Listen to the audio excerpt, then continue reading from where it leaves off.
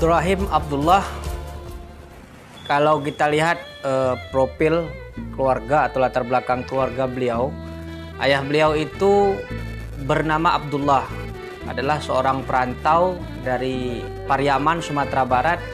Pada saat kejayaan uh, perkebunan Sumatera Timur, beliau datang, kemudian uh, mempindah ke Delhi, selanjutnya beliau ke Langkat bertemu dengan Sultan Langkat dan melamar e, mencari pekerjaan kemudian beliau e, menjadi muazin di Masjid Kesultanan Langkat. Ibunya bernama Fatimah atau waktu itu dikenal dengan nama Mak Lebar. Nah, Fatimah ini e, memiliki seorang adik namanya Tengku Mahjiwa. Nah, Tengku Mahjiwa ini kemudian nanti dilamar oleh Tengku Muhammad Adil. Nah, dari pasangan Tengku Muhammad Adil dengan Tengku Mahjiwa melahirkan seorang anak bernama Tengku Amir Hamzah. Nah, sebagaimana yang kita ketahui Tengku Amir Hamzah adalah salah seorang pahlawan nasional Indonesia dari Langkat yang meninggal pada saat terjadinya revolusi Sumatera Timur tahun 1946. Jadi tahun kelahiran atau tanggal kelahiran daripada Syekh Abdurrahim Abdullah sendiri adalah pada tanggal 1 Desember 1896 Artinya beliau lahir di akhir daripada abad ke-19 Masehi. Istri beliau bernama Syaifiatul A'mal yang masih merupakan uh, cucu daripada Datu Umar, sekretaris uh, negara Kesultanan Langkat. Pasangan Syekh Abdurrahim Abdullah dengan Syaifiatul A'mal dikaruniai 13 orang anak. Salah satu anak beliau adalah Dr. Imaduddin Abdurrahim atau yang kita kenal dengan nama Bang Imad yang menjadi tokoh nasional di Indonesia. Beliau merupakan salah seorang tokoh penggagas pendirian Masjid Salman ITB uh, di Bandung. Nah, ketika beliau uh, belajar agama Islam di Langkat, beliau itu memiliki banyak guru di sana. Misalnya yang paling dekat itu adalah Syekh Mat Jadah. Syekh Mat Jadah ini e, merupakan mufti di Kesultanan Langkat. Beliau ini adalah ulama berdarah Mandailing. Nah, selain belajar agama Islam ke Syekh Mat Jadah, Syekh Abdurrahim Abdullah ketika mudanya juga belajar bahasa Mandailing dari gurunya. Kemudian guru beliau berikutnya itu ada namanya Syekh Muhammad Ziyadah. Merupakan e, ulama Langkat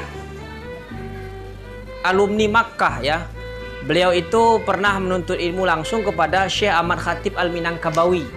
Nah, sebagaimana kita ketahui Syekh Ahmad Khatib Al-Minangkabawi itu adalah uh, dikenal dengan gurunya para ulama di Nusantara gitu. Kemudian beliau juga berguru dengan Syekh Abdul Wahab Rokan yang kita sama-sama sudah mengerti, sudah tahu bagaimana profil Syekh Abdul Wahab Rokan yang merupakan ikon uh, uh, dunia persulukan di Sumatera Utara pada umumnya.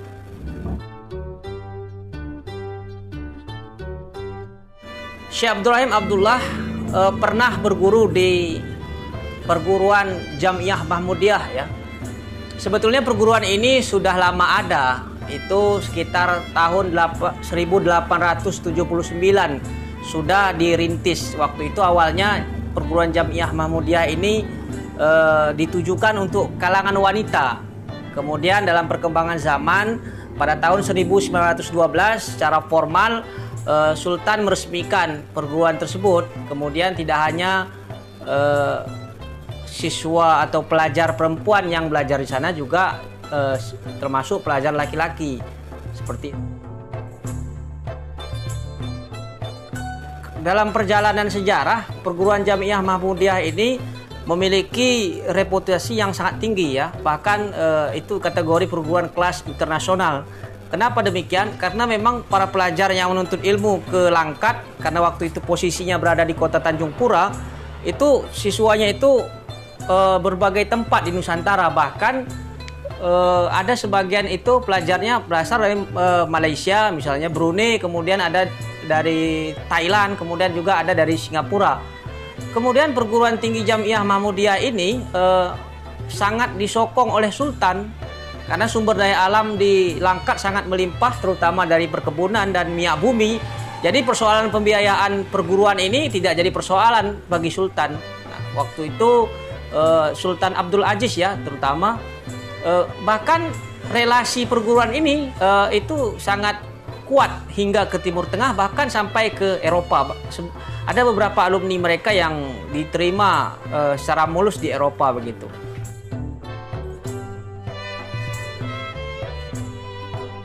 Syekh Abdurrahim Abdullah dalam sejarah intelektualnya beliau pernah uh, belajar di Mesir tepatnya di Universitas Al-Azhar.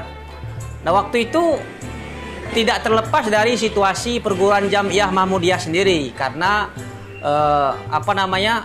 terjadi lonjakan siswa sementara eh, kebutuhan tenaga pendidik juga eh, perlu ditingkatkan oleh Sultan banyak beberapa pelajar itu eh, diberikan beasiswa untuk belajar ke Timur Tengah eh, baik di Makkah kemudian juga di Mesir kebetulan waktu itu Syekh Abdurrahim Abdullah uh, mendapat uh, beasiswa itu ke uh, Al Azhar.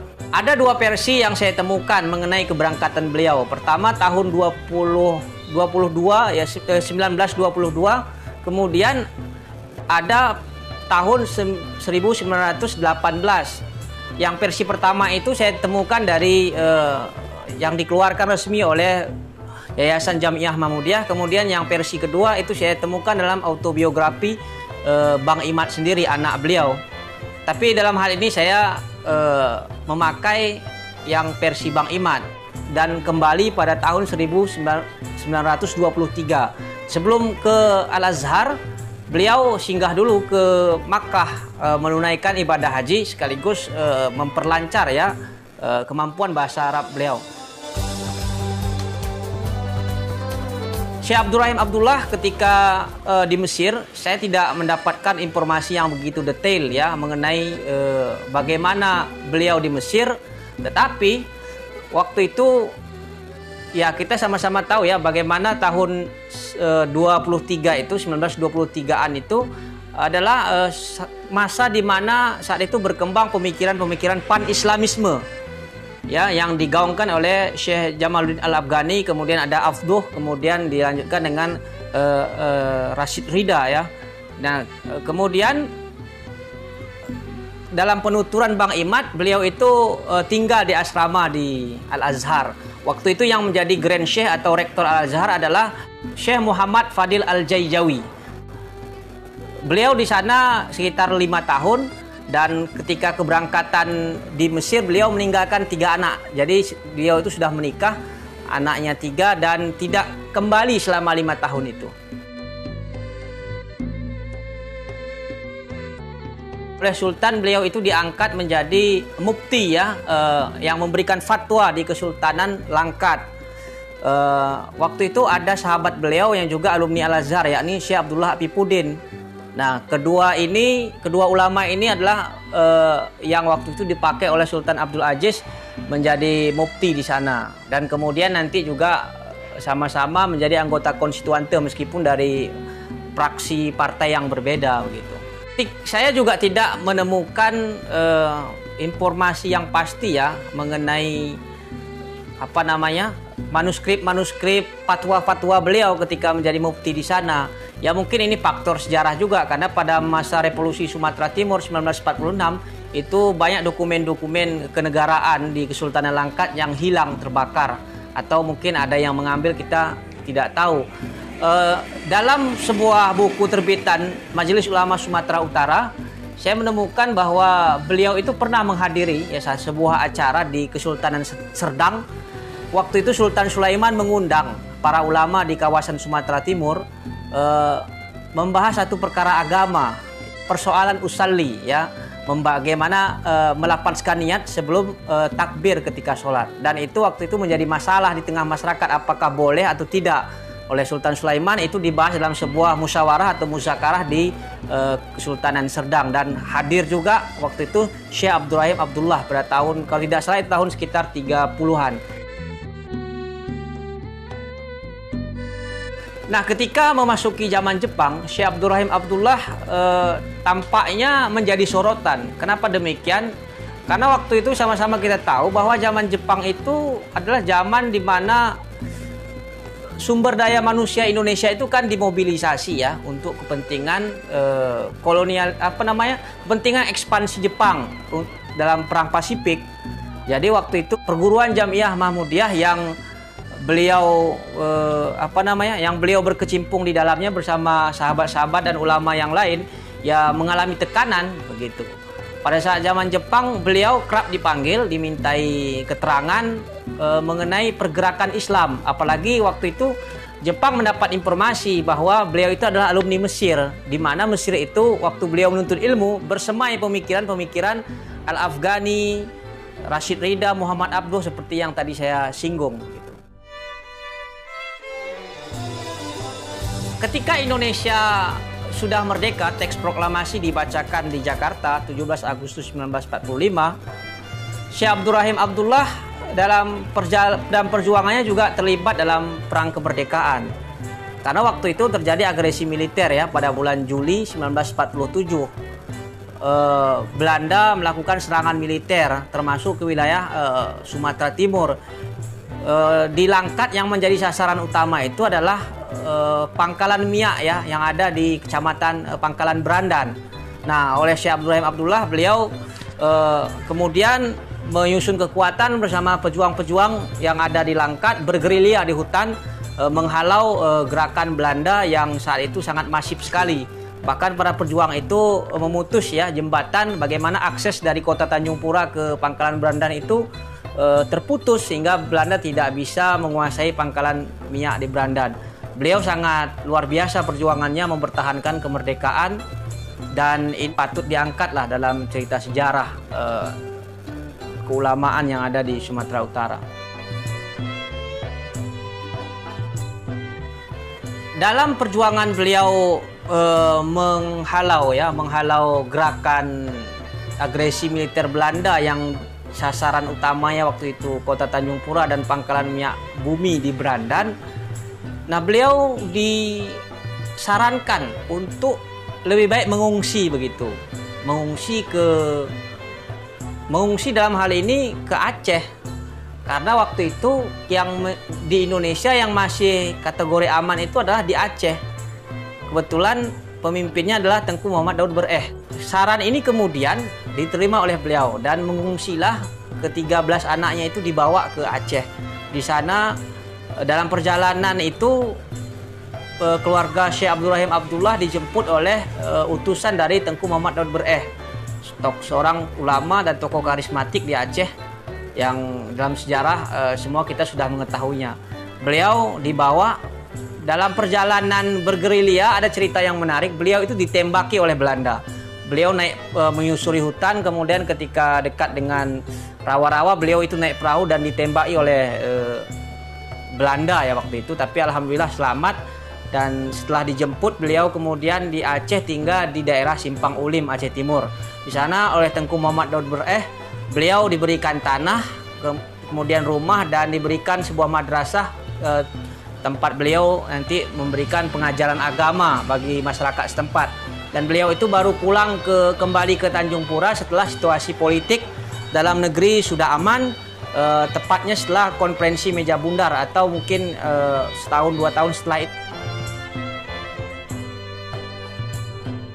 Pada tahun 1955 itu kan di Indonesia diselenggarakan uh, pemilu pertama ya. Ini pemilu yang dalam catatan sejarah dinilai sebagai pemilu paling demokratis dalam sejarah uh, pemilihan di Indonesia. Karena pada saat itu masyarakat Indonesia kebanyakan masih buta huruf. Nah, tetapi mau memberikan suaranya atau mau memberikan partisipasi politiknya dalam pemilu. Nah ini kan menjadi sesuatu hal yang unik saya kira. Ternyata Syekh Abdurrahim Abdullah juga pernah mengikuti kontestasi pemilu tersebut. Beliau waktu itu mendaftar sebagai anggota konstituante.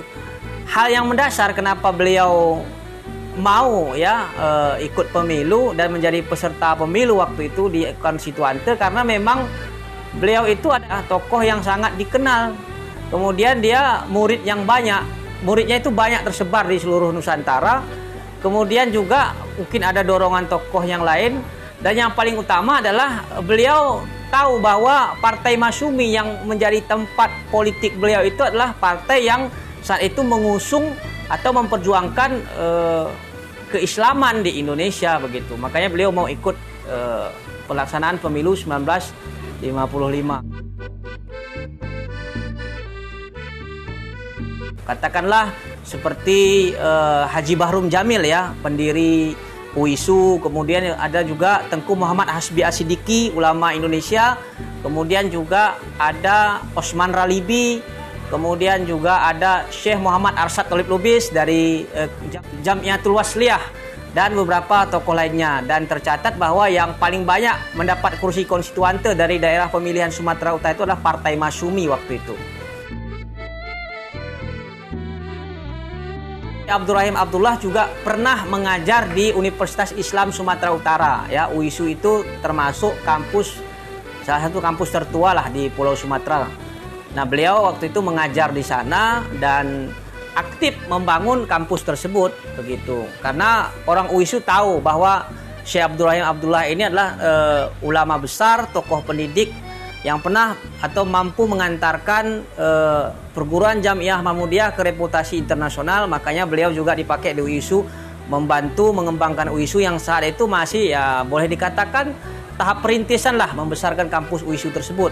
Makanya ketika tahun 50-an, 60-an bahkan 70-an itu kema, apa namanya kualitas lulusan UISU itu sangat luar biasa bahkan boleh dikatakan itu selevel mungkin dengan lulusan yang ada di Timur Tengah. Nah, ketika menjadi anggota konstituante, beliau itu eh, apa ya dikenal sangat aktif lah, sebagaimana dalam sejarah Partai Masumi mengusung nilai-nilai keislaman yang ada di Indonesia. Eh, ada juga saya menemukan bagaimana beliau baru dilantik itu bersalaman dengan Bung Karno ya dan disaksikan dengan Bung Hatta, ada Ibu Rahmi Hatta di situ. Uh, saat menjadi anggota konstituante, beliau itu merupakan seorang apa ya politisi sarungan karena beliau ini memiliki ciri khas ke mana-mana memakai sarung. Konon katanya uh, beliau itu mulai memakai sarung setelah beliau dikhitan dan itu terus beliau pakai hingga beliau wafat. Termasuk ketika menjadi anggota konstituante pas waktu sidang sekalipun beliau itu selalu memakai sarung begitu dan memakai sorban. Nah, maka saya mengatakan beliau itu politisi sarungan begitu, tapi tentu tidak mengurangi kualitas keilmuan yang ada pada seorang diri Syekh Abdurrahim Abdullah. Pada saat eh, konstituante dibubarkan ya melalui dekret 5 Juli tahun 1959 itu kan suasana politik Indonesia drastis berubah ya Bagaimana kemudian waktu itu Bung Karno juga uh, memaksakan konsep politik nasakomnya, nasionalis, uh, agama dan komunis begitu. Kemudian konstituante yang ya mungkin dianggap tidak bekerja kemudian dibubarkan, ini menjadi persoalan sendiri di politik tanah air. Pasalnya waktu itu banyak ya terjadi tragedi-tragedi politik yang itu menyita perhatian masyarakat Indonesia.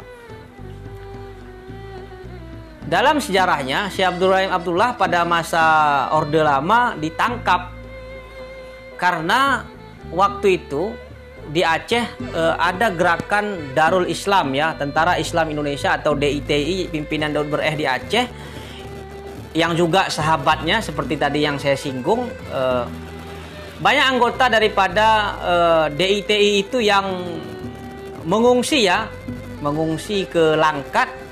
Kemudian uh, Syekh Abdurrahim Abdullah itu tahu mereka membutuhkan tempat tinggal. Dan Syekh Abdurrahim Abdullah juga tahu bahwa mereka itu adalah uh, pengikutnya Daud Bereh dari DITI atas nama kemanusiaan. Mereka itu ditampung oleh Syekh Abdurrahim Abdullah. Nah, beliau menampung mereka itu bukan berarti beliau mendukung gerakan DITI di Aceh. Nah, ini yang patut diluruskan beliau itu menampung murni atas nama kemanusiaan karena mereka itu adalah uh, anggota DITI yang lari ke Langkat statusnya sebagai pengungsi dan diselamatkanlah oleh uh, Syekh Abdurrahim Abdullah begitu. Tapi kemudian oleh rezim Orde Lama waktu itu dianggap ya itu bagian dari memberikan dukungan kepada DITI sehingga beliau waktu itu dipenjarakan ya kalau tidak salah dari penuturan anak beliau sekitar 14 bulan beliau ditangkap tanpa proses peradilan dan dipenjarakan di penjara Tanjung Pura bersama Yusuf Bahruni waktu itu bendahara Partai Masumi di Langkat.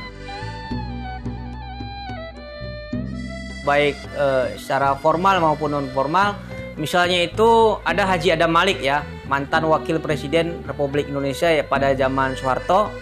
Kemudian ada nama selain ada Malik ada nama Syekh Hamdan Abbas ya, alumni Makkah itu juga murid beliau di Tanjung Pura. Kemudian ada nama Muhammad Gaz Ghazali Hasan ya, tokoh GPII di Sumatera Utara.